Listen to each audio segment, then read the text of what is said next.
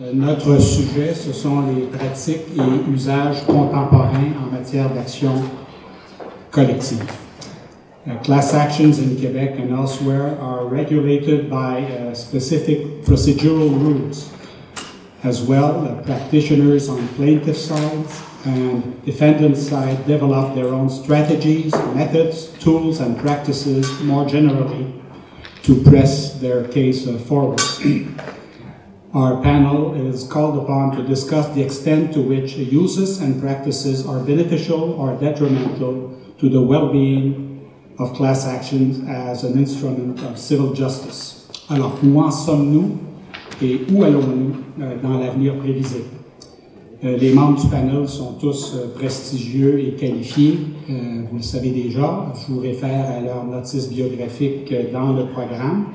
Et vu que notre temps est extrêmement précieux, je vais céder la parole immédiatement au professeur Pierre-Claude Lafont, qui est professeur ici à l'Université de Montréal et un spécialiste reconnu dans le domaine de l'accès à la justice, en particulier pour les membres plus vulnérables de la collectivité. Donc, professeur Lafont. Merci beaucoup, Monsieur le juge. Euh, alors, euh, comme vous le savez sans doute, 2017 marque le 50e anniversaire de l'Expo universelle de Montréal, l'Expo 67. On en a beaucoup parlé ces dernières semaines. Euh, a même écrit une chanson qui disait En 67, tout était beau, c'était l'année de l'amour, c'était l'année de l'Expo. Excusez-moi. En 1978, le législateur québécois a adopté la procédure d'action collective. On pourrait dire, à la manière de Beau Dommage, en 78, tout était beau, c'était les années du Parti québécois, c'était les années de tous les possibles. Le titre du présent colloque, très bien choisi d'ailleurs, est L'effet de l'action collective de l'imagination du législateur aux usages et pratiques d'aujourd'hui. Les organisateurs nous proposent en quelque sorte un bilan des pratiques. Je me plie donc à leur demande et je vous propose à mon tour un bilan de mon expérience et de mes réflexions sur l'action collective de ses débuts à aujourd'hui. En 1978, j'étais un étudiant à la maîtrise dans cette faculté. Je cherchais un sujet de recherche pour mon mémoire, alors que je lisais les actes du colloque canadien droit et consommation que j'ai ici, qui était organisé par le regretté Claude Mars en 1975, je suis tombé sur deux textes. L'un de Pierre Marois sur l'action en justice collective et l'autre de Neil Williams de Consumer Class Action. On se rappellera que Pierre Marois deviendra quelques années plus tard ministre d'État au développement social dans le gouvernement du Parti québécois et sera le parrain de la loi sur le recours collectif qu'il fera adopter. Comme écrivait Éluard, il n'y a pas de hasard, il n'y a que des rendez-vous. Je me rappelle avoir été frappé par la lecture de ces deux textes-là, et c'est grâce à eux que j'ai trouvé mon sujet de mémoire. Nous étions à l'automne 1978 et le gouvernement venait d'introduire le recours collectif dans le Code de procédure civile le 8 juin. Le timing était parfait. Éluard avait raison, ce rendez-vous m'attendait. Ainsi débuta presque 40 ans d'intérêt pour cette procédure fascinante qui n'a jamais cessé de me passionner et qui m'habite encore. Je me sens privilégié d'avoir pu assister au premier balbutiement de cette procédure originale et innovante. Et puisqu'on parle aujourd'hui de l'effet de l'action collective, je vais vous parler notamment de l'effet qu'elle a eu sur moi. Débutons par le commencement, mon mémoire de maîtrise, lequel portait sur le recours collectif et les consommateurs. Titre peu recherché, j'en conviens, je me suis amélioré par la Nous sommes à l'époque de l'adoption du recours où tous les espoirs sont permis. En commission parlementaire, le ministre Marois prévoyait même le dépôt de plus de 500 demandes par année. Alors, avec 66 demandes d'autorisation en 2016, vous vous rendez bien compte qu'on est loin du compte.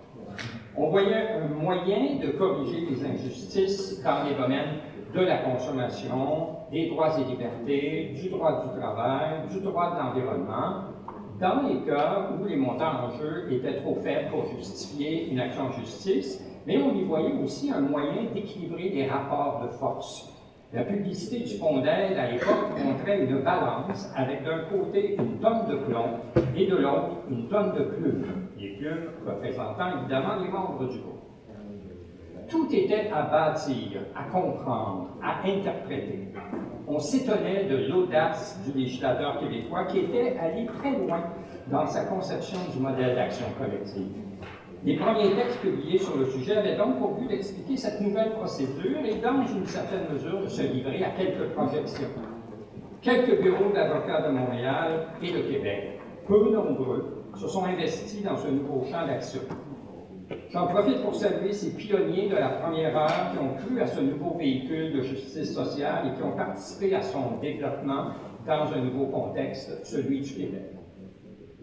Les décisions judiciaires n'ont pas été longues à se faire attendre, marquées d'une interprétation extrêmement restrictive de la nouvelle loi. Les espoirs ont été vite déçus. L'autorisation était majoritairement refusée. Les juges qui étaient éduqués à l'aune de la justice individualiste, éprouvaient euh, un malaise évident avec une procédure de nature collective. C'est ce qu'on a appelé la période noire de l'action collective québécoise. Certains prédisaient même la mort de l'action collective à court terme. Ma thèse de doctorat en 1995 s'inscrit dans ce courant. Elle ne conclut pas, non, à la mort prochaine de l'instrument, mais elle dresse des constats très critiques, montrant à l'aide de données les difficultés rencontrées, les longs délais, l'obstruction systématique des défendeurs, le peu de résultats du point de vue de l'indemnisation des membres, les difficultés d'application dans certains secteurs, etc. Sur un plan positif, elle proposait des corrections, des améliorations pour sortir cette procédure du marasme dans lequel elle semblait plonger. Au début de 1990, des années 90, coup de théâtre, la Cour d'appel rend trois décisions importantes qui font tourner le vent et installent un nouveau courant d'interprétation libérale. À partir de là, tout change. Le nombre d'autorisations grimpe en flèche, les dossiers cheminent, de nouveaux secteurs s'ouvrent à l'action. Surtout, l'optimisme et l'espoir de 1978 refont surface. La réponse des défendeurs, on sans doute, ne se fait pas attendre. L'attitude belliqueuse se déploie davantage et tous les moyens de défense sont utilisés pour bloquer l'autorisation. Depuis, la situation n'a guère changé, si ce n'est que la Cour suprême du Canada s'est introduite dans débat en réitérant la nécessité d'une interprétation souple et libérale pour permettre l'atteinte des objectifs de l'action collective. De mon point de vue, et j'ai déjà eu l'occasion de l'écrire dans mon deuxième livre, les juges québécois ont bien compris leur rôle avec une ouverture remarquable. Leur conception de la justice a évolué d'une conception individualiste à une conception collective. Les intentions initiales du législateur ont été bien saisies et les juges, de plus en plus conscients des problèmes d'accès à la justice des citoyens, ont manifesté leur intention de participer à une des solutions de ce problème en favorisant l'exercice de l'action collective. Dans Banque de Montréal contre Marcotte, par exemple, avec un grand pragmatisme, les juges de la Cour suprême sont même allés jusqu'à établir que le représentant n'a pas besoin de posséder un intérêt personnel contre chacun des défendeurs poursuivis, en autant que la pratique au cœur de l'action soit commune. Alors j'y vois une démonstration formidable d'une conception réellement collective du véhicule. Et j'en profite pour féliciter la magistrature de cette évolution et de cette implication. Sans elle, l'action collective québécoise ne serait plus qu'un souvenir. Relativement à l'indemnisation des membres, ces années d'ouverture font état de plusieurs histoires victorieuses. Je pense euh, particulièrement au dossier des implants mammaires, des bénéficiaires de l'hôpital Saint-Ferdinand, des victimes de la pollution de l'usine Ciment du Saint-Laurent, des anciennes victimes d'abus sexuels de la part de certains membres de communautés religieuses, des frais de crédit de Hustle Finance ou de Brouille Martineau, des garanties en matière automobile, des services de voyage, des victimes du Dieselgate de Volkswagen et de celle de Norbourg. Sans l'action collective, ces justiciables n'auraient jamais obtenu justice et touché l'indemnité. Donc, dans les années 90 et 2000, tout allait plutôt bien. Tellement bien que même certains ont décrit le Québec comme le paradis de l'action collective. Jusqu'à ces dernières années, où certains, dont votre serviteur, se sont mis à s'inquiéter je suis inquiet de la dérive que semble connaître la pratique de l'action collective québécoise. alors que je me demande si cette pratique est en train de connaître une certaine dérive, le juge en chef de la Cour supérieure déclarait récemment que la dérive est certaine. Demain, je pars en retraite d'écriture pour commencer à écrire mon troisième livre sur l'action collective. À vrai dire, comme le disait mon regretté collègue François Chevrette, il est terminé. Il ne reste qu'à l'écrire. J'ai même déjà trouvé le titre Libre propos sur l'action collective. Ça pourrait aussi s'appeler Grandeur et décadence de l'action collective. Et j'ai envie de partager avec vous cet après-midi ce que je compte y écrire. Disons-le franchement, l'action collective est devenue un marché. Un marché de niche, comme disent les économistes. Un marché lucratif avec peu de concurrents. Un marché économique pour les avocats qui ont vu une source d'enrichissement avec des honoraires substantiels. Et ça m'inquiète. Des cabinets boutiques spécialisés en action collective ont vu le jour. De petits cabinets champignons apparaissent. D'autres qui existaient déjà se sont mis à s'intéresser à ce marché. On ne peut plus nécessairement exercer des actions collectives pour corriger des injustices ou indemniser des citoyens. On veut faire de l'argent. Les actions qui pourraient être intéressantes, mais qui ne rapportent pas suffisamment d'honoraires, ou les actions qui intéressent l'intérêt public, dont on parlait ce matin, sont laissées pour compte. Pierre Marois doit s'inquiéter lui aussi. Les avocats sont devenus des entrepreneurs. Ils initient les actions et les financent désormais eux-mêmes au moyen des honoraires conditionnels, aucun honoraire si l'action ne réussit pas, et des honoraires à pourcentage si l'action réussit. Ce mode de rémunération-là pose problème car il place l'avocat en conflit d'intérêts potentiel. Plus le montant obtenu pour le groupe soit élevé, évidemment, plus les honoraires professionnels le seront. Et comme la majorité des actions collectives victorieuses se terminent par un règlement court, cela met encore plus de pression sur les épaules de l'avocat de la demande lors de la négociation. Les bureaux vont même chercher des sources de financement externes à l'international, comme dans le dossier des banques. Le Fonds d'aide aux actions collectives, qui au début finançait pratiquement 100% des actions, n'en finance plus que 26 Le marché a changé. Loin de s'opposer à ce phénomène d'entrepreneuriat, les tribunaux l'analysent en approuvant les honoraires d'avocat et en reconnaissant le rôle d'entrepreneur. Parfois, on peut avoir l'impression qu'on est dans le livre de John, Grisham, The King of Tools.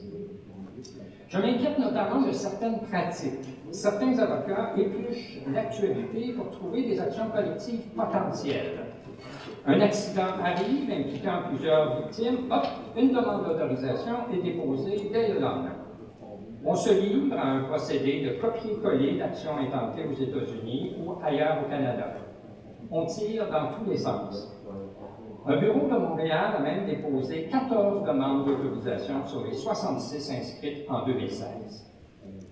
On voit exercer des actions pour de fausses représentations sur des frais cachés dont aucun consommateur ne se plaint et dont aucun n'a subi de réel préjudice. Les juges se plaignent des actions collectives à 25 sous en droit de la concurrence qui rapportent peu aux membres du groupe, mais beaucoup aux avocats. Je disais récemment que la phase 2 de la loi fédérale anti-pourriel entrera en vigueur le 1er juillet prochain, accédant un droit d'action, accordant pardon, un droit d'action privé aux citoyens et que les bureaux d'avocats en demande se frottent déjà les mains car ils y voient une source potentielle de nombreuses actions collectives. Je suis inquiet de ces pratiques consistant à prendre la première personne venue pour agir à titre de représentant, sa sœur, sa secrétaire, son beau-frère, son voisin. Les règles en matière de déontologie et de conflit d'intérêts invitent les avocats à éviter de confondre leurs intérêts avec ceux de leurs clients. Même s'ils n'ont pas expressément donné mandat à l'avocat pour les représenter, les membres du groupe sont considérés comme ses clients, lesquels ont le droit d'être bien représentés. Parlant des membres, ceux-ci ne reçoivent pas nécessairement autant qu'ils l'auraient cru. Surtout, on constate, et on l'a vu ce matin, que les délais pour obtenir, recevoir une indemnisation sont outrageants dans certains cas. Personnellement, comme victime de la crise du verglas, j'ai reçu un chèque de 52 15 ans après l'événement. dans le dossier Lépine contre Société canadienne des postes qui a débuté il y a 15 ans. Une entente de principe a été conclue il y a deux ans, mais la transaction n'est pas encore signée. Ce ne sont pas des cas isolés, je pourrais vous en citer plein d'autres. Un instrument de justice qui fonctionne à un tel rythme ne peut évidemment pas être qualifié euh, de voie d'accès à la justice efficace. Mieux vaut une indemnisation tardive que pas d'indemnisation du tout, diront certains. Je laisse cet argument à votre réflexion. Parfois, les membres reçoivent une indemnité sans comprendre pourquoi. J'ai reçu il y a trois semaines un chèque de 14 de TELUS. L'enveloppe ne contenait que cela un chèque de 14 dollars avec pour seule mention recours collectif Martin. Euh, aucun avis rappelant le règlement en cours approuvé par le tribunal, ni la raison pour laquelle l'action avait été initiée en 2013. On va rapporter un procédé identique pour le remboursement des membres dans le dossier des banques. Les consommateurs ont reçu un crédit sur leur compte sans trop savoir à quoi il était lié. Je pense aussi au montant de 20 que les consommateurs pouvaient réclamer sans preuve d'achat dans le dossier de la dérame de Infinium. Les gens réclamaient, mais ne comprenaient pas pourquoi.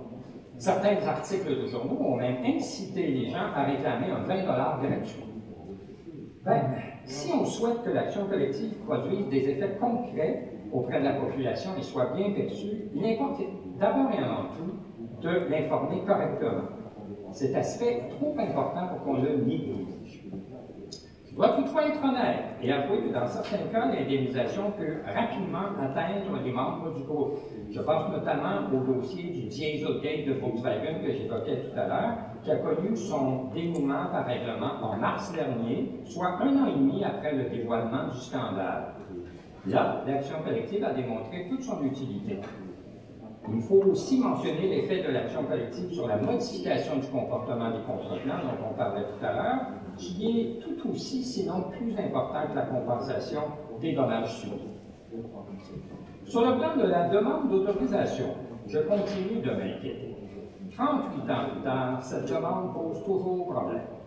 Ce n'est pas normal que nous en soyons encore là pour une étape sommaire qui constitue uniquement un mécanisme de filtrage avec des faits tenus pour avérés, lors de laquelle le demandeur a le fardeau de faire la démonstration et non la, et non la preuve qu'il a une cause défendable.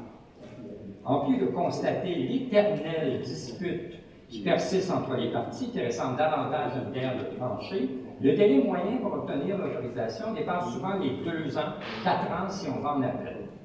Et pendant ce temps, l'action n'est toujours pas exercée, les membres sont encore très loin d'une éventuelle indemnisation. Je rappelle que cette, cette étape sert uniquement d'élimination des actions frivoles ou non fondées en droit. Doit-on prendre autant de temps pour ce faire, d'autant plus que très peu d'actions sont rejetées à l'étape préliminaire pour ces raisons. Le législateur ne semble pas, lui non plus, se préoccuper de ce problème. Il était parfaitement informé de cette situation déplorable et il n'a pas saisi l'occasion de la réforme du Code de procédure civile pour tenter de la corriger. On a imposé un délai de 180 jours pour la mise en état d'une action introduite en justice, mais on laisse les procureurs et le système judiciaire libres d'action en matière d'action collective. Ici, je fais plus que m'inquiéter. Je m'étonne et je reste dubitatif. Et il semble que je ne sois pas le seul. Les juges aussi lancent des cris d'alarme. L'honorable Marie-France Biche, dans un auditeur, un devenu célèbre, rendu à l'automne dernier, a elle aussi fait part de son inquiétude à l'égard des membres du groupe, mais aussi à l'égard des ressources judiciaires qui sont largement utilisées, qui pourraient servir à meilleur escient. Puisque le seuil d'autorisation est peu élevé, elle se demande s'il est justifié que l'on consacre autant d'efforts et de ressources à cette étape. Elle parle d'un prix individuel et systémique qui ne peut être ignoré. Dans un contexte où le nouveau Code de procédure civile insiste sur la proportionnalité et sur la célérité des procédures, il est permis de conclure à une démarche disproportionnée en l'espèce. Si les avocats continuent d'abuser, les tribunaux ou même le législateur risque de fermer la porte. Rien n'est jamais acquis à l'homme, ni sa force, ni sa faiblesse, écrivait le poète Aragon. ne tenons pas pour acquis que la pratique actuelle de l'action collective est là pour rester. La pratique au stade de l'autorisation doit changer de manière radicale. Faut-il abolir la demande d'autorisation comme l'évoque la juge Biche? Je ne crois pas que ça changerait quoi que ce soit. Les défendeurs continueraient de s'opposer à l'introduction de cette action par d'autres procédures préliminaires. À mon sens, et à l'heure de la justice collaborative proposée par le nouveau code, il y a une culture à changer dans la pratique de l'action collective. Cette attitude agressive et adversative à outrance nuit à tout le monde, les membres du groupe, le système judiciaire, les avocats des demandeurs et même les défendeurs. Je m'inquiète aussi de cette course à l'autorisation, une course au palais où on privilégie le premier arrivé, premier servi, first to file. Entérinée par la Cour d'appel, cette pratique ne sert personne non plus, sinon les cabinets d'avocats bien expérimentés et bien organisés qui sont prêts à appuyer sur le bouton de lancement à peine quelques heures après l'événement. On se retrouve parfois avec des procédures mal préparées, incomplètes, qu'il faut amender, réamender et réamender. L'exercice d'une action collective devrait pourtant être un acte réfléchi qui prend du temps. Le tribunal demande à l'aspirant représentant ou à son avocat de faire certaines démarches pour démontrer qu'il existe un groupe de personnes ayant subi le même préjudice que lui, qu'il a tenté de communiquer avec eux, qu'il a préalablement essayé de régler son problème avec le défendeur, etc. Comment peut-on faire ça en 24 heures? Il faut revoir cette pratique judiciaire qui permet, pour permettre à l'action collective qui sera présentée pour autorisation devant le tribunal d'être la meilleure, à la hauteur des attentes des membres du groupe. Je ne sais pas encore quelle est la solution, mais je sais qu'il faut revoir cette façon de faire. Je m'inquiète aussi de ce monde sera plusieurs têtes que la pratique a créé et continue de nourrir. J'ai nommé des actions multiterritoriales. Jusqu'à ce jour, la validité constitutionnelle ou juridique de ces actions n'a toujours pas été confirmée. Personne ne veut se mouiller. On continue de faire comme si ce phénomène allait de soi et on va même jusqu'à tenter de l'encadrer. Les tribunaux ont adopté un protocole canadien de gestion des recours collectifs. Le législateur québécois, pour sa part, a ajouté deux nouvelles dispositions dans le Code de procédure civile allant dans ce sens. Heureusement, les actions collectives multiterritoriales se concluent par des ententes hors cours. Les tribunaux ne sauraient probablement pas quoi faire s'ils devaient rendre un jugement collectif et en assurer le recouvrement par la suite. D'ailleurs, le protocole canadien ne traite que de la gestion d'un règlement extrajudiciaire. Est-ce à dire qu'un jugement collectif multiterritorial est une aberration qu'on veut à tout prix éviter? Il importe de se rappeler que la nature de l'action collective n'a pas changé depuis 38 ans. Elle poursuit toujours un objectif social d'accès à la justice pour les personnes qui n'y auraient pas accès autrement. C'est sa pratique actuelle de détournement de l'exercice de l'action collective par certains avocats qui m'inquiètent et que je remets en cause. Détournement de ses fins, détournement des objectifs initiaux, je dis bien certains avocats, car heureusement, ce ne sont pas tous les avocats en demande qui se livrent à de telles pratiques. J'ose même croire qu'il s'agit d'une minorité, mais n'attendons pas qu'ils contaminent le marché. Attention, chers auditeurs, tout ce que vous venez d'entendre ne signifie pas que j'ai changé mon capot de bord, comme disait ma grand-mère, et que je suis devenu un ardent allié des procureurs de la défense. Désolé, Non, c'est mon humeur du moment. Je garde l'espoir qu'entretenaient les pionniers de l'action collective québécoise en 1978. J'ose croire que l'action collective québécoise va demeurer dans la grandeur et ne sombrera pas dans la décadence. Je ne dis pas que tout ceci est la vérité. Dans la vie, tout est affaire de perception, comme le montre d'ailleurs l'affiche du colloque. Je ne dis pas non plus que j'ai raison. Je dis que je suis inquiet. Rassurez-moi, s'il vous plaît. Merci de votre attention. Thank you so much.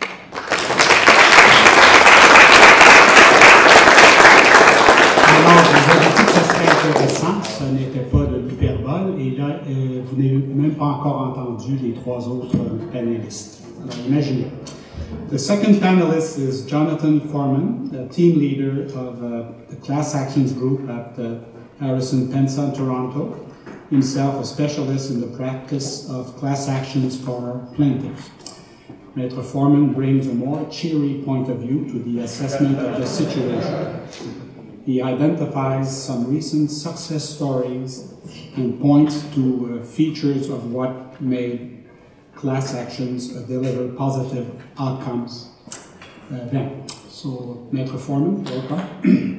Thank you very much, uh, and thank you to Professor Pichet for inviting me. It's been a, a pleasure to be here with you in, uh, in beautiful Montreal. Uh, so, as Mr. Justice Daniel explained, I am a, a plaintiff side lawyer, and so naturally I choose the sunny side of the street, the optimistic path. I have to, otherwise my life would be a miserable existence. And so, uh, what I want to talk to you about are some uh, some of the reasons why I feel optimistic about the class actions regime in Canada and to give you some specific examples out of my practice and my research that, uh, that support that view. I'll just explain briefly the approach. I'm going to talk about two cases that are cases I have acted on personally uh, where the distribution of settlement funds was a success, and I want to explain the reasons uh, for that success. And next, I want to uh, identify the state of the class action trial in Canada because I think that's an important barometer to measure how we are doing. And then last, I want to make some predictions, and while doing so, I'll identify some things that I think we can work on, particularly in the common law uh, example. So the first one um, that I'd like to talk about is the DRAM case. Uh, the DRAM, obviously, stands for Dynamic Random Access Memory, for those who aren't familiar with it. These are memory chips and memory modules that go into all manner of electronic devices. And the case was a price fixing case, and so it concerned what was alleged to be a worldwide price fixing conspiracy by manufacturers of DRAM to uh, maintain an artificially and anti competitive price structure for DRAM. The class in that case consisted of a large and diverse uh, group of Canadians, companies, institutions, individuals, families, etc., who bought DRAM or products containing DRAM. So it was a class of direct purchasers of DRAM and a class of indirect purchasers, people who bought DRAM itself either from parties other than the original manufacturer, an alleged co-conspirator, or through finished products that contained DRAM chips or memory chips. In the case, after many years of litigation, settlements totaling just shy, a few dollars shy of $80 million Canadian were achieved.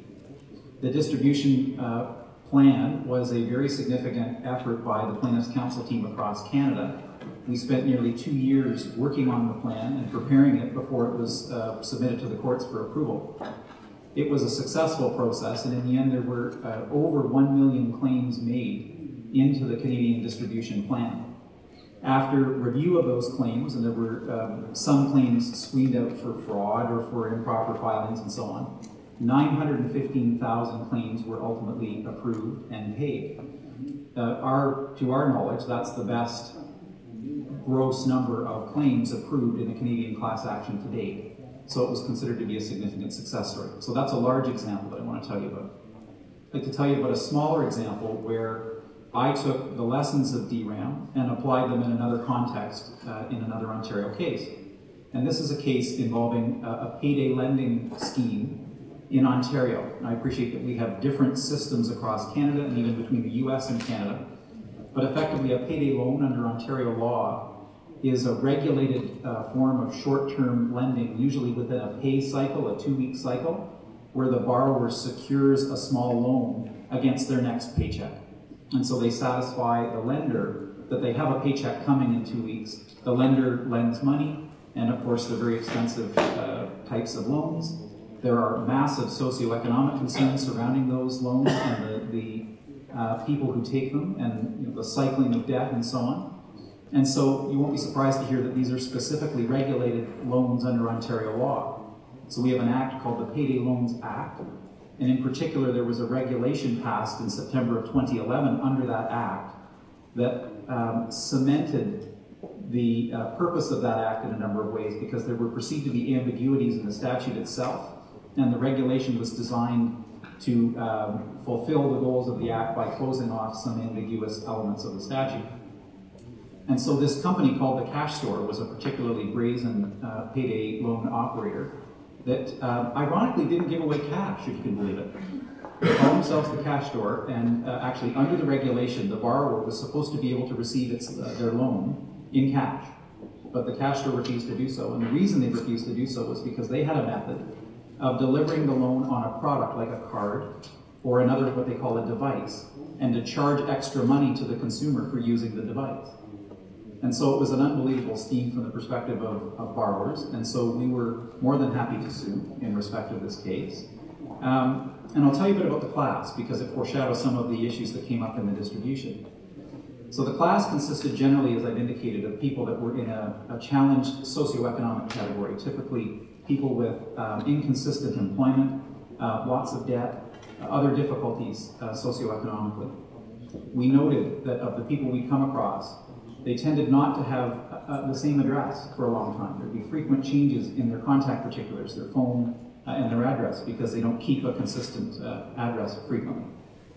There was a tendency by them to have a cycle of debt, as I've indicated, which means they were having unhappy relationships with the legal system. People were chasing them to collect debt, they were being sued over uh, unpaid debts, and so on. So there was a tendency by this group to mistrust the legal system and to not welcome unsolicited communications of the kind that we were going to need to make to distribute settlement money. In addition, what we learned through our work was that there was an almost universal tendency by the, the borrowers in this case not to keep transaction documents.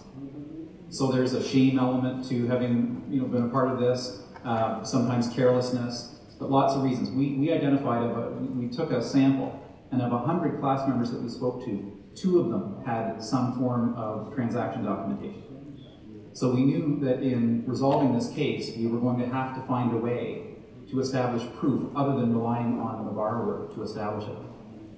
Last of all, another important point, and it's the cash store itself, the management and the staff of the store had an incentive through their compensation structure to open as many accounts as possible. And so what that meant was borrowers would come looking for a loan and maybe they were a repeat customer but the store would open a new account for them under maybe a slightly different name to get credit for opening another account because there was a compensation element there. So I'll give you an example. We would see a borrower by the name of J.P. Smith. He'd also show up as John Smith, and then John Paul Smith, and maybe other names. So this one borrower is in the system. We've seen examples where some of them are in the system as much as 10 times. So they'd have 10 accounts associated with the single person. So in the end, in this case, settlements totaling just over $10 million were reached through the litigation. And then the process turned to distributing the settlement money. And um, in this case, we were able to uh, drive a process that created 21,000 claims at the end of a four-month claims window. Now you'll ask, how good is 21,000 claims relative to the, uh, the story in the case? So I can tell you that um, we negotiated for almost complete production from the defendant of all of the account information, all the contact information for borrowers. There were 100,000 accounts, give or take. However, as I've indicated, there was no telling how many actual borrowers there, there were because of the practice by the cash store to open multiple accounts in the name of the same, the same borrower. So the only way that that could be rationalized was through the claims process to have the borrower identify multiple related accounts that might have something to do with their borrowing so that they could satisfy that issue within the, the uh, claims process. So we considered 21,000 claims to be a tremendous victory in the context of all of these things. Um, I can tell you I measure it a couple of different ways, and we're still in the process of, of uh, approving these claims and cutting checks. Uh, but the, of the number of accounts that existed the claims that were made that came in reflected on or about 40% of the accounts. And so you'll say, well, where are the other 60%? I ask the same question. But uh, you know, I, as I say, I'm on the sunny side of the street, and I have to say, I'm proud of the fact that we made 21,000 Ontarians take action, respond to a call to action, and make claims. And they'll be receiving something that averages out to about $300 per person. Uh, and some of them will get much more because their recovery depends on the number of loans they took and the amount of um, fees they were paying in connection with their loans. So um, we consider that one a real success. So then the question is, what did we do and what can we point to uh, as the, key attributes that drove uh, these results? And in both the DRAM case and in the cash store case, we took the time to analyze the class as we were designing a distribution plan. And so things like one-on-one interviews with class members to talk about their experience, their relationship with the defendant, the documents they possessed, the information they had, the general awareness of timing of when they might have had an interaction with the defendant. What information might they be able to bring forward, and what, more importantly, what information might not they be able to, to bring forward to support a claim? So we were assessing generally their capability to make a successful claim in the context of a settlement distribution. Next, we, as we were designing the distribution plan after having interviewed people, we would outreach again to class members and in many cases give a draft of the plan with an explanation in, in a letter. Uh, this is before we submit the plan to the court for approval. It was as the drafting was occurring to try and receive feedback from people, to tell us if there's a word in the plan that they don't understand or appreciate or if it's a barrier to their understanding to what we were doing. So we did that. Uh, in the DRAM case, we uh, held even public consultations after releasing drafts like that to samples, large samples of class members, and invited them to a public hearing. And we hired retired uh, Supreme Court Justice Ian Binney as a facilitator of the feedback and to handle the submissions of people at those public hearings. So these were interesting times to be a part of because you were inviting lots of contribution from the stakeholders in this process. And then the question was, what could you do with it? How could you incorporate it into uh, the ultimate settlement distribution plan? And I can say that in the DRAM case, it actually worked very well. There were some great contributions made in that process that, uh, that made their way into the final plan. Next. Maître Foreman, awfully sorry to tell you so, but we're going to run out of time, so need to select a note on which to conclude. okay. Uh, Beyond that, we worked on good communication strategies, simple and impactful communications themes. And up on the PowerPoint there, you'll see the web domains we use, for example. So for DRAM, themoneyismine.ca. Very easy for people to remember, to recall, and to use. In the cash store, takebackyourcash.ca. So we deliberately chose things that had good themes and good communications methods. We also tested all of the communications. We used focus group processes. We would invite class members to our office, give them a an honorarium check and a lunch uh, in exchange for an hour and a half of their time to run a test claim through the claims portal to determine whether they were, uh, there were barriers in that process to be corrected. We had the claims administrator with us to watch and to see firsthand those things that were working and those things that were not. Again, when we executed the notice strategy, we went out on, a, on an organic media footing, which would be uh, a situation where you don't uh, pay uh, uh, all advertisers or all, all media to report your story, you generate genuine media interest in your story so that real articles are written. And I'll give you an example. The Toronto Star took up the DRAM story and a consumer-focused story had a link to the settlement website in it. And we were able to measure the number of claims that were made from that link. And there were over 100,000 claims made from the Toronto Star story itself. So that was very successful. We also went with other paid media. We actually designed an advertisement, a film noir themed ad in DRAM, which was a big success. In the cash store, we did a lot with the direct communications. I mentioned to you that we were able to get all this information from the defendant.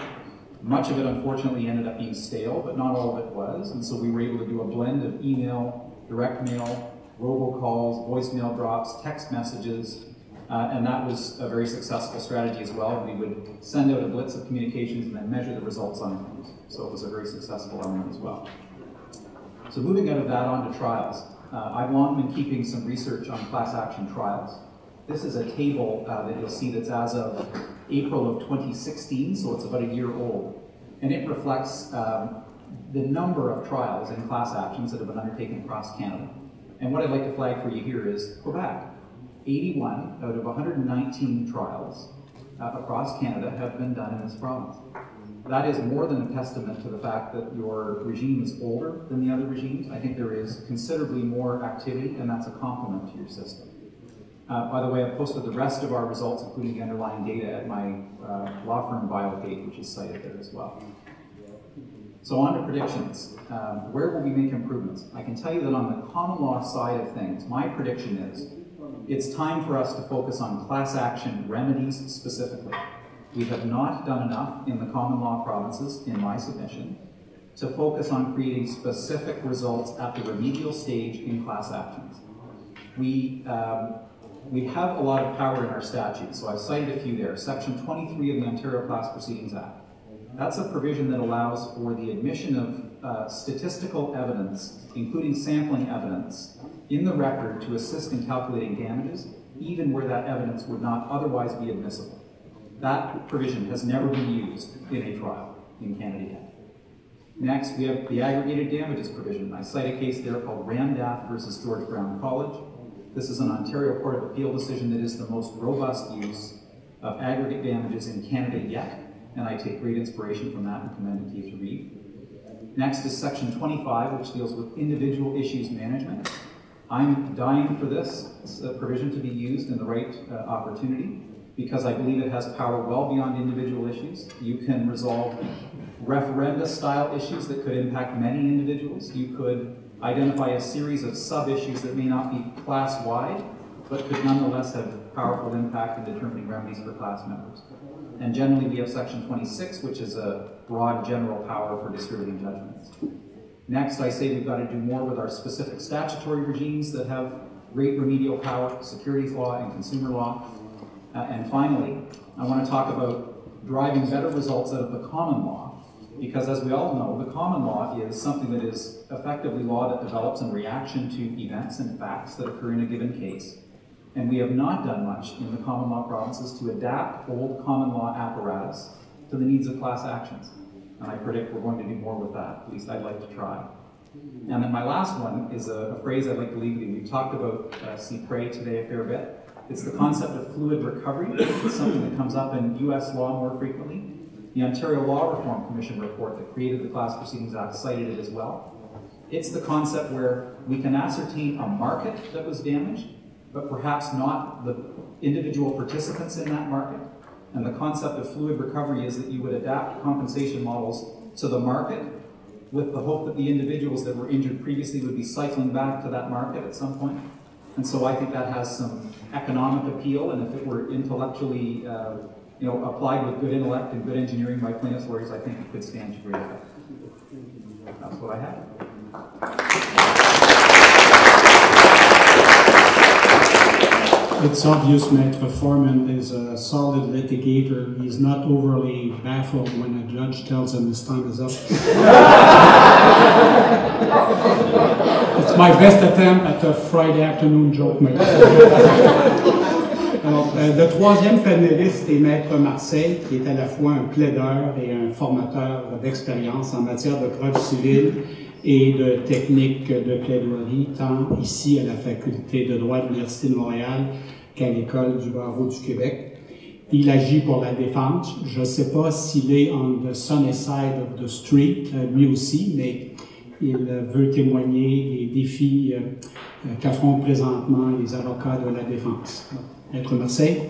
Merci, M. le juge Gagnon.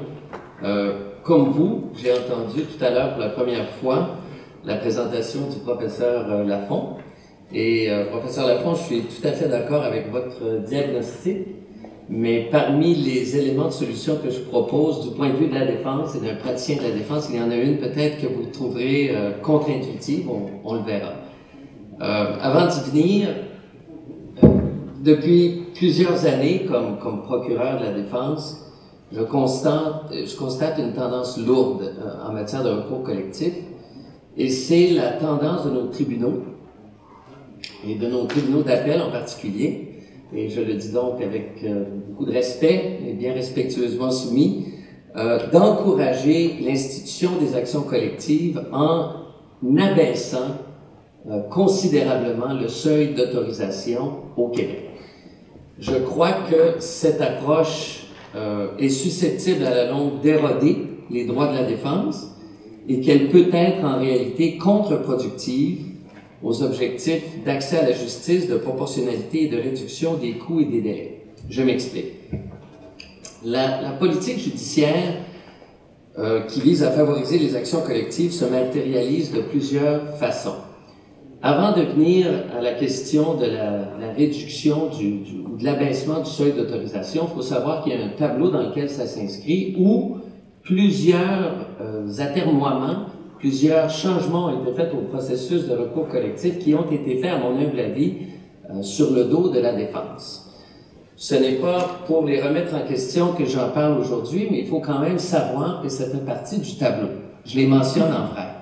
Euh, le droit d'appel asymétrique. Alors, il faut savoir qu'au Québec, un demandeur qui se voit refuser l'autorisation a un droit d'appel, alors qu'un défendeur qui voit un recours collectif autorisé contre lui ne peut aller en appel que sur autorisation, euh, à, à, à, condition de rencontrer des conditions très, très contraignantes.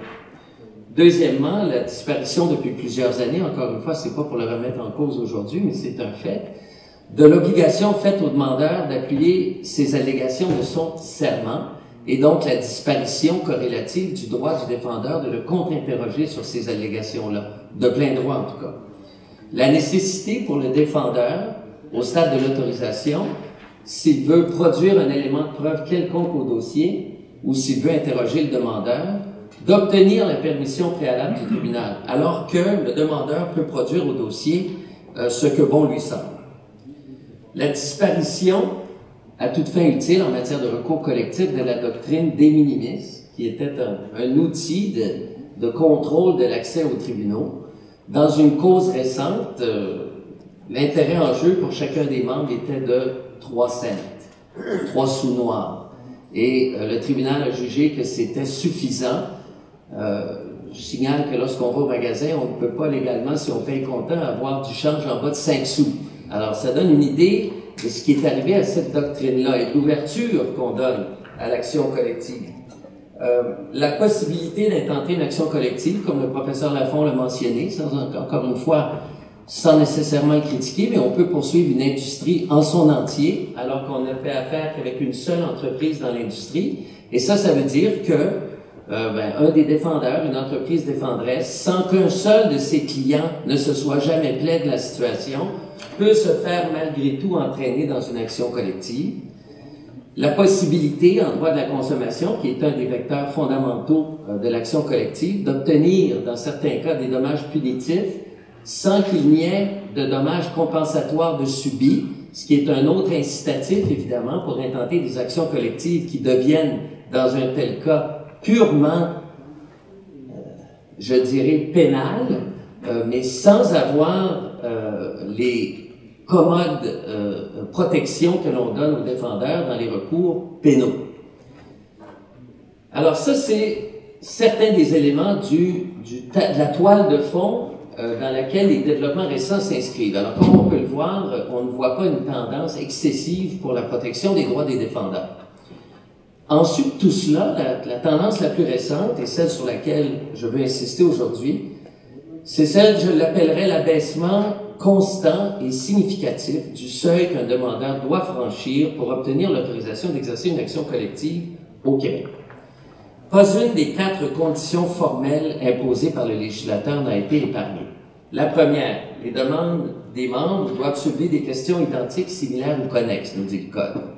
Or, maintenant, il est reconnu qu'une seule question commune suffit, même si elle ne permet pas de résoudre le litige. Elle ne doit pas même permettre de résoudre une part, par exemple, substantielle du litige ou importante. Il suffit qu'elle ne joue pas un rôle négligeable sur le sort de la demande. Et il n'y a aucun besoin que la réponse, elle, soit commune aussi. Donc, le standard a été, à mon sens, abaissé aussi bas qu'il ne peut l'être. Le deuxième, l'apparence de droit.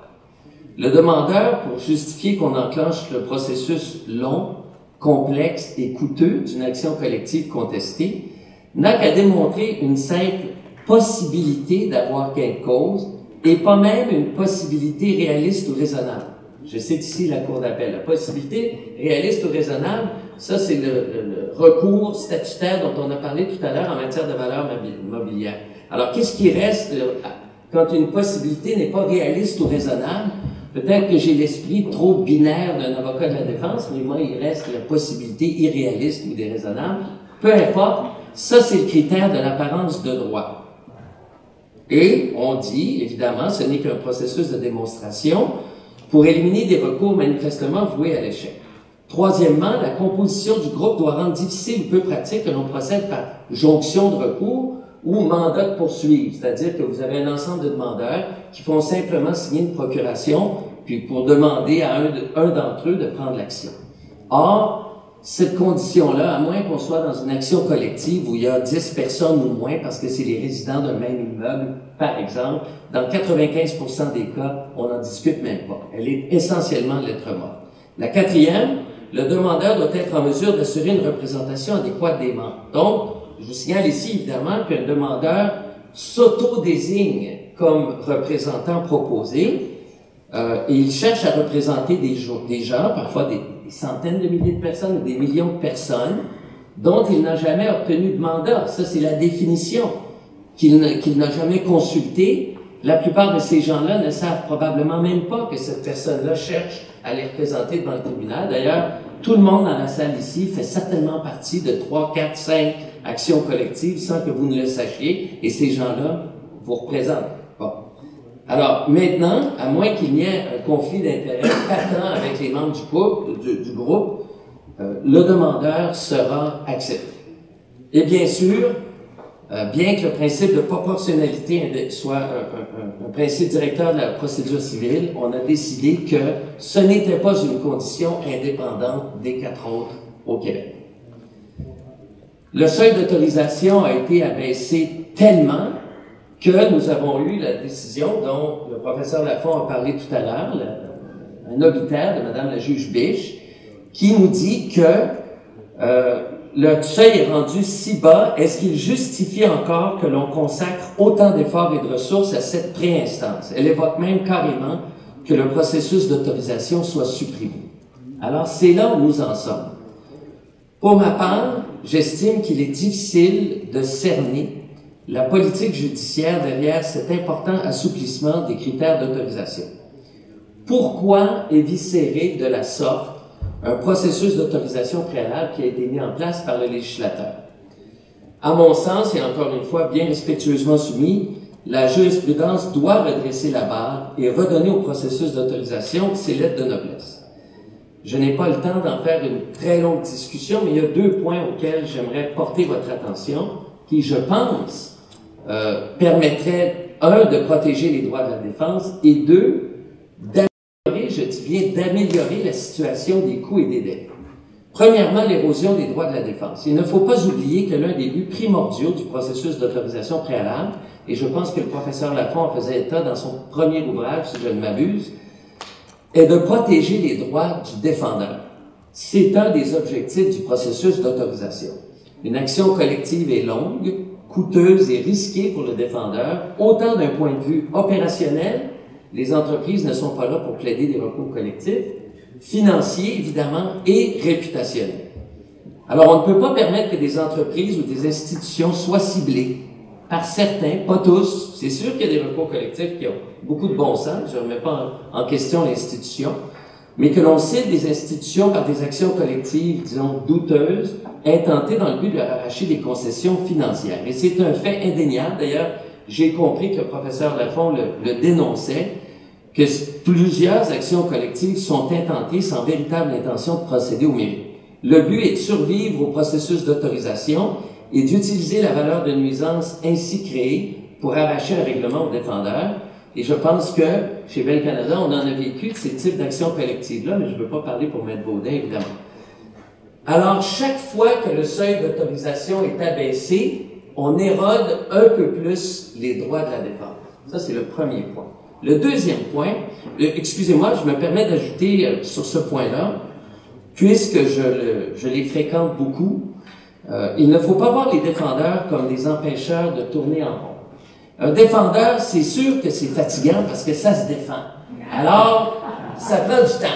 Hein? Il, faut, il faut écouter la défense. Mais c'est l'essence même de notre système judiciaire. Prendre le temps d'analyser les choses, contester les prétentions de la demande, voire même laisser le temps au temps. Laisser la poussière retomber avant de trancher une affaire. Pensons par exemple à la catastrophe de lac mégantic. Ça a du bon de laisser tomber la poussière avant de de régler le problème. Ce ne sont pas des inconvénients du système, ce que je viens de décrire là, ce sont des avancées majeures que nous avons connues dans les sociétés démocratiques au niveau de l'administration de la justice, et ce sont des acquis qui, moi je le soumets bien respectueusement, il faut chérir et protéger.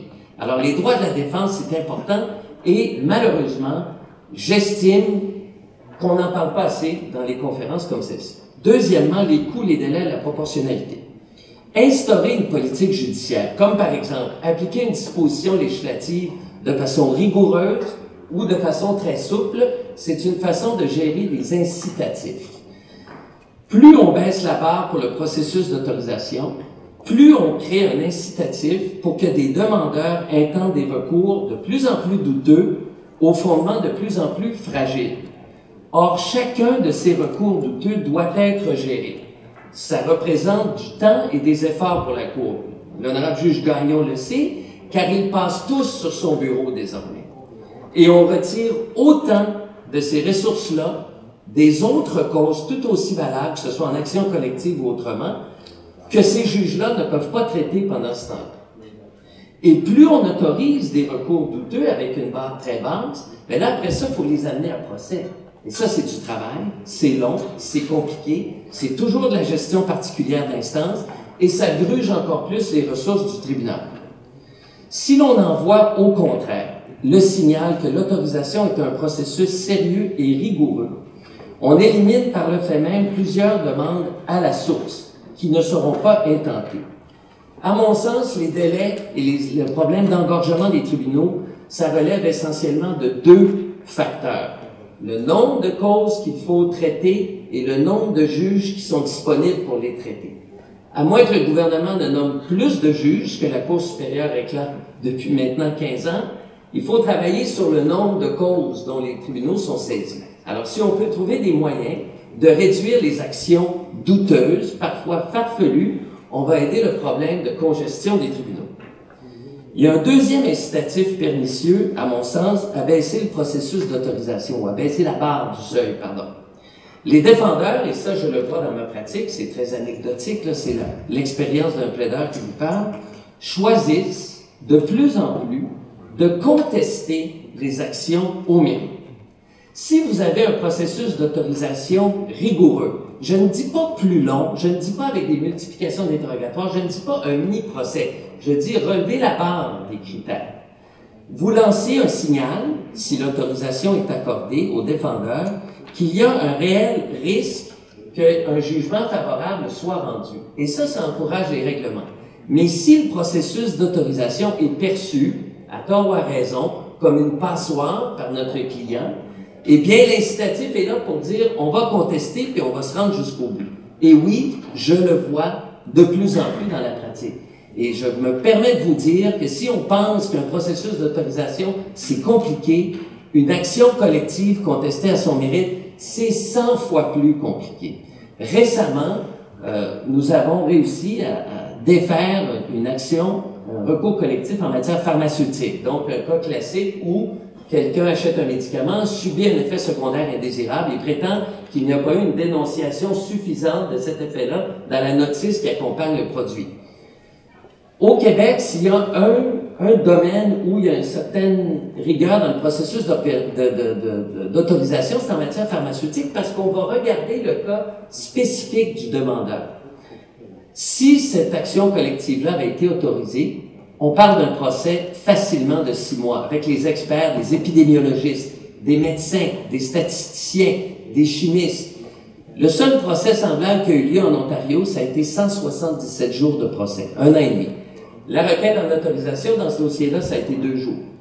On est en appel, je ne veux pas me prononcer sur le mérite, mais sans aucune hésitation, je peux vous dire que si cette action-là a été mise de côté grâce au stade de l'autorisation, même avec un appel, on va sauver des ressources judiciaires considérables pour s'attaquer à d'autres recours.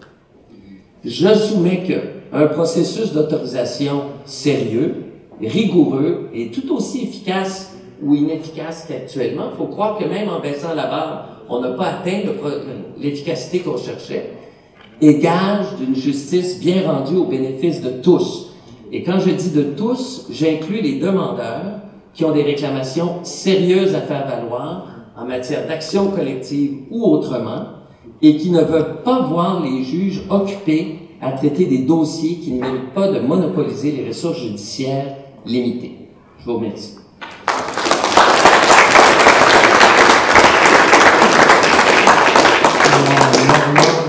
Poursuit sa course folle, un peu comme dans une salle d'audience au palais de justice. Mais euh, je suis sûr d'obtenir l'appui de mon collègue, le juge Wagner, et d'étirer euh, l'horaire de quelques minutes cet après-midi parce que notre dernière panéliste n'est pas la moindre. C'est maître Clara Poisson-L'Espérance. Elle incarne la relève qui s'amène dans la communauté juridique et dans le monde merveilleux des actions collectives. Je pense que c'est un modèle pour les jeunes qui euh, ont euh, fourni une journée de bénévolat au laboratoire aujourd'hui, qui eux aussi, elles aussi, prendront leur place parmi nous euh, à la fin de leurs études. Maître Poisson d'Espérance, elle travaille dans un cabinet euh, en matière de, du côté de la demande, mais elle est, également pardon, chercheur associé ici au laboratoire. Alors, euh, elle aussi, je pense, a des expériences positives à nous rapporter. Euh, bonjour à tous. merci pour l'organisation de ce colloque. C'est fantastique d'être ici.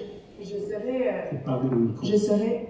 je vais essayer d'être brève, mais j'aimerais vous partager effectivement des, pas des success stories, mais des endroits où on voit euh, les effets croisés que peuvent avoir euh, l'action collective et l'action étatique. On revient un peu finalement au thème de ce matin. Quand j'ai préparé ma conférence, je ne savais pas que ce serait un des sujets euh, qui serait abordé aujourd'hui, mais il y a beaucoup d'actions collectives qui, sont, par exemple, contre des défendresses, qui sont des organisations étatiques, mais aussi des actions collectives qui sont dirigées contre des organismes privés, mais qui impliquent des organismes publics qui, ont intervenu à un moment, qui n'ont pas intervenu ou qui ont intervenu, mais de façon pas assez efficace pour régler le problème.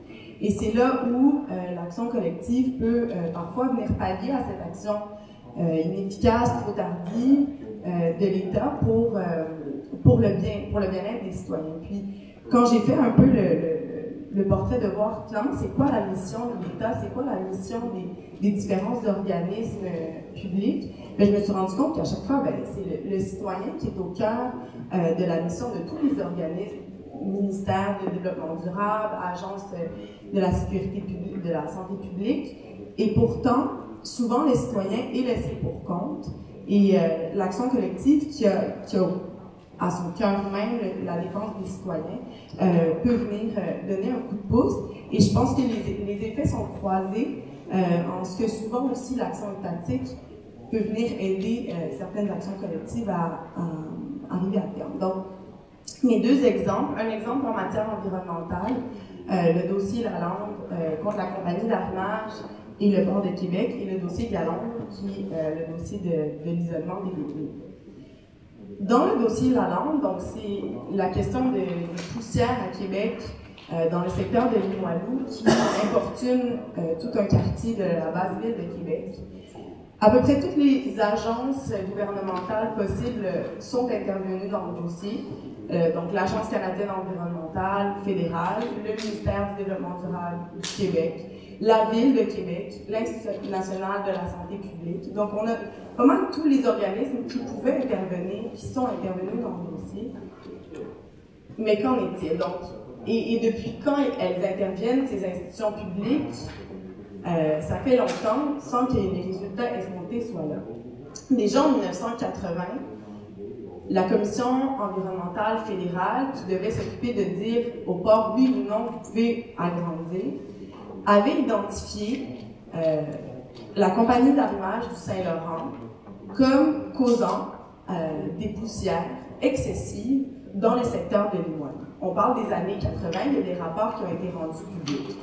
Et à ce moment-là, le port n'a pas finalement, le, le projet d'agrandissement n'a pas eu lieu, mais un des constats de la commission environnementale, c'est de dire il y a des problèmes, vous devriez couvrir vos activités, mettre vos activités de transbordement de minerais à couvert parce qu'il y a trop de poussière qui se rend dans le, dans le quartier voisin de Limoilou. La Ville de Québec avait elle aussi déposé un mémoire dans les années 80 euh, à la Commission environnementale fédérale en disant on est inquiet, il y a 65 000 personnes qui vivent dans ce quartier-là, qui se plaignent de poussière excessive. On le sait qu'elles viennent d'arrimage du Saint-Laurent et, et on, est inquiet de la qualité de l'air des citoyens. Donc, on avait identifié qui était responsable, on avait identifié qui était impacté, on avait identifié qu'il y avait des, dommages. Et pourtant, 40 ans plus tard, on a toujours au port de Québec euh, la même compagnie d'arrimage, au même pied 50 à 54 qui avait été identifié il y a 40 ans, qui transborde du minerai à la ville. Alors, les entités publiques ont identifié le problème. Le, ministère du Développement durable du Québec émet des avis de non-conformité, dit que ces normes sont dépassées, mais, mais, la situation ne change pas. Donc, qu'est-ce qu'on fait à ce moment-là? Est-ce qu'on attend... La, question, elle est là. On, voudrait bien que les institutions publiques le fassent le travail et elles, ne font pas rien. Elles rendent des rapports, elles rendent des études publiques, elles colligent des données. On ne dit pas que les, euh, entités publiques ne font rien, mais visiblement, ce qu'elles font n'est pas assez suffisant pour changer la pratique et euh, des défendresses et pour arrêter les nuisances dans, le voisinage. Ce qui est intéressant dans ce dossier-là, c'est le dialogue entre le recours collectif et aujourd'hui les entités publiques. Parce que la Commission environnementale fédérale procède aujourd'hui encore une fois à l'examen euh, de l'agrandissement du port pour 2020 et utilise les données euh, colligées par les demandeurs dans le recours collectif en disant attendez, avant d'agrandir, il y a un problème de poussière. Et il y, a, vraiment cet échange, le recours collectif a été institué en 2013, et il y a vraiment cet échange entre l'entité publique qui, encore aujourd'hui, dit euh, il, y a un problème, et, le problème a été finalement identifié, encore une fois, par les entités publiques, mais réutilisé par les demandeurs dans le recours collectif de dire qu'il faudrait régler le problème avant d'agrandir le port. Et je trouve que l'effet est intéressant, puis l'injonction qu'on demande dans le recours collectif va peut-être être la seule solution au problème des citoyens, de couvrir finalement les activités de transbordement de minerais pour éviter les nuisances dans le quartier. Parce que visiblement, les entités publiques, 40 ans plus tard, 40 ans plus tard n'ont pas été capables euh, de d'ordonner à la défendresse, finalement, euh, à l'image de Saint-Laurent et le port, de couvrir ces activités. Et d'ailleurs, euh, les solutions aux problèmes de poussière étaient elles aussi identifiées il y a 40 ans. Donc, euh, la solution au problème des poussières dans les Noirs euh, est, est, connue du promoteur. Maintenant, le litige n'est pas terminé. Elle est en pré-autorisation.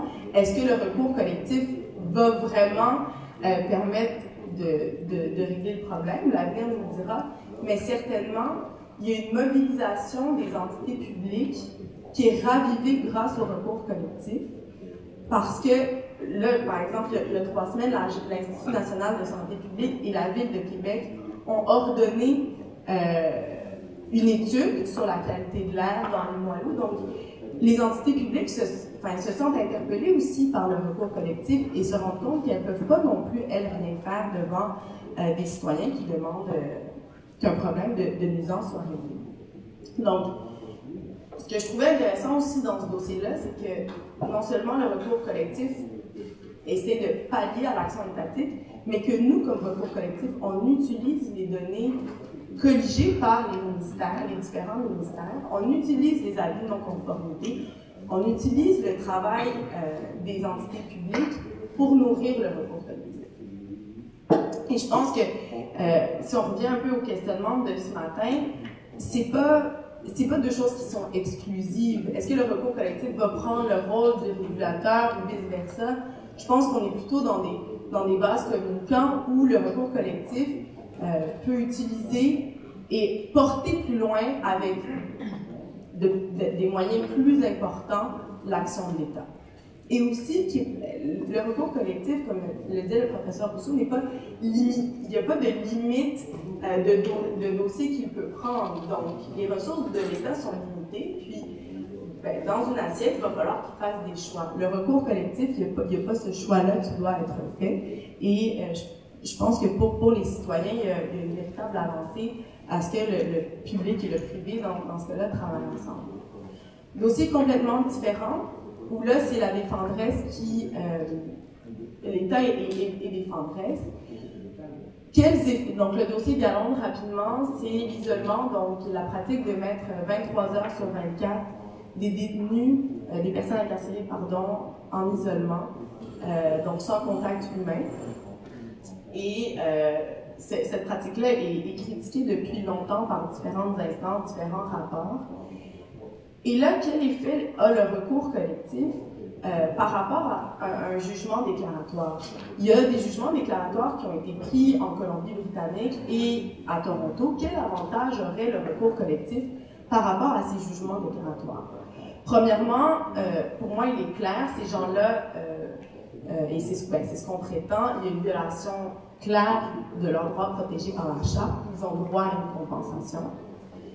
il y a un aspect dissuasif monétaire, on en a parlé plus tôt, et il y a, le recours collectif vise la pratique et plus englobant qu'un jugement déclaratoire qui viserait seulement, pas seulement, mais plus généralement la loi. Euh, et on va peut-être plus profondément examiner la culture et la pratique des services correctionnels qu'un jugement déclaratoire qui, dans le cas de Colombie-Britannique, se, concentre plutôt sur la loi elle-même.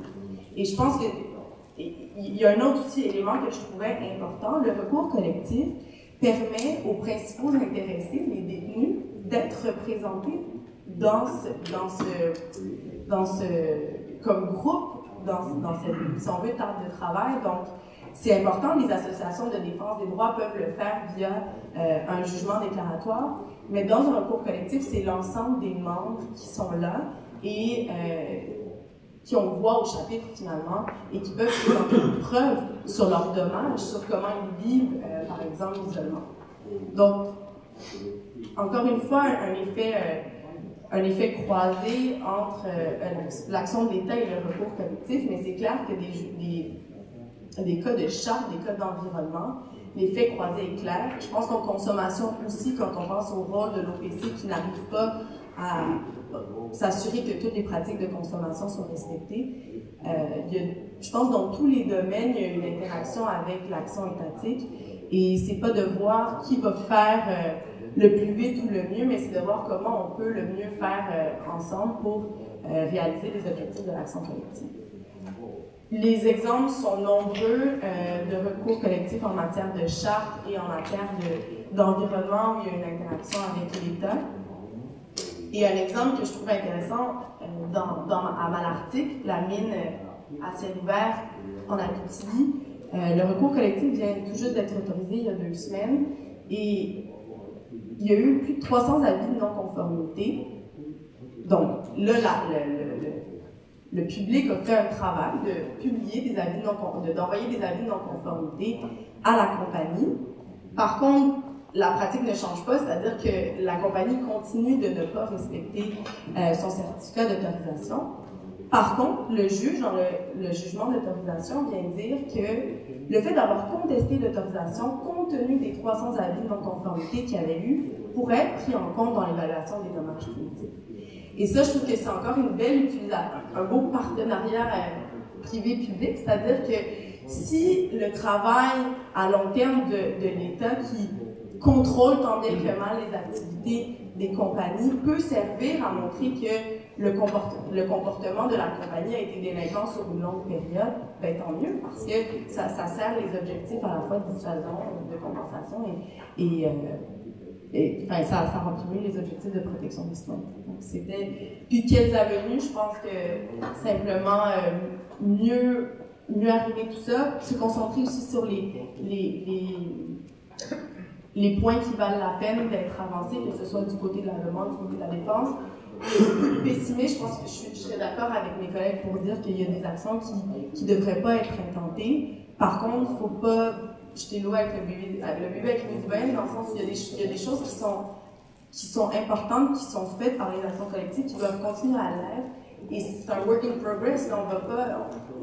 C'est pas en claquant des doigts qu'on va, réformer les choses, mais la théorie des petits pas, petit à petit, on, essaie de, toujours. Euh, faire mieux pour, euh, pour servir les citoyens qui sont en action collective. Je pense que c'est du côté, du côté de l'État, puis on a intérêt à, à, travailler ensemble dans cette même direction. Merci.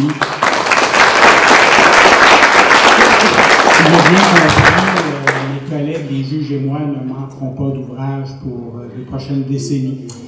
alors, chose promise, chose due, ce fut un très beau panel, extrêmement stimulant, matière à réflexion. J'ai personnellement pris beaucoup de notes. Alors, je vous remercie de votre attention. Nous allons passer à la prochaine étape du programme.